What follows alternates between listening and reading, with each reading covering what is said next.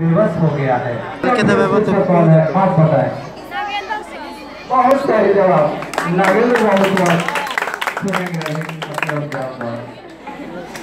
क्योंकि इस उद्वेलित माहौल को यही शांत कर सकते हैं।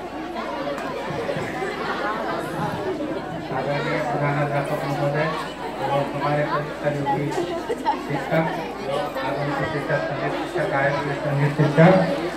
एवं हमारे छात्र एवं छात्राएँ, हमारे भारत में ऐसा देखा गया है कि बर्थडे मनाया जाता है।